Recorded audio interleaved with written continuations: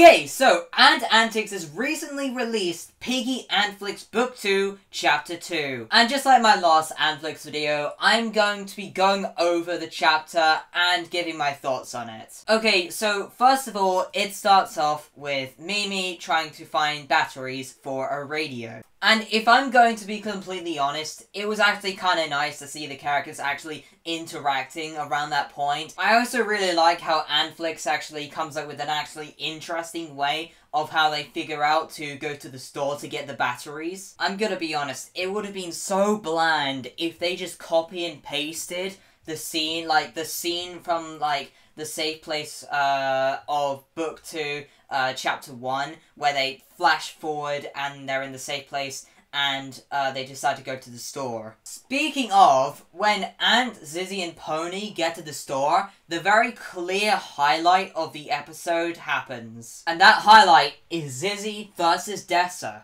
And I'm gonna be honest, this is most definitely one of the best fight scenes in Antflix so far. I wouldn't say it's better than the YouTubers battle versus Mr. P. That's definitely, like, far superior. But I honestly think it's probably second best. But this scene also has my biggest complaint of the episode. So, Pony finds a battery, and for an obvious reason that we all know, uh, Pony does not want the radio to be working for, you know, a certain group, uh, because they don't, because she does not want to, uh, be around that group. But, he could have hid it in any other place. He chose to hid it, hide it, you know where, uh, for literally no reason. There are literally cars and places, like, he could have heard it anywhere else. And, like, it wasn't even funny, to be honest. Another gripe that I have this episode, which I don't get at all, is why Mimi comes with them. Like, Mimi couldn't come with them to the store because she was getting old.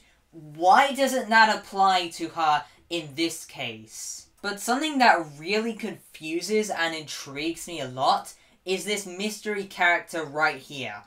He looks like Felix, despite Felix literally being dead. Um, so it's probably a new OC character, which you know what, that's kind of cool. That is, you know what, it is also it is cool that the uh, Antflix uh, includes OC characters to keep the series more original. And last of all, I am very interested in what role Mrs. P is gonna play in uh, book two because in book two she has literally nothing to do with the storyline. Heck, like like the whole Mr. P, Mr. P is nowhere near uh, anywhere. Like the whole thing with Mr. P isn't anywhere to be seen in book two. So I want to know what Mr. P has anything to do with uh, Piggy Antflix season two. And uh, yeah, guys, uh, bye.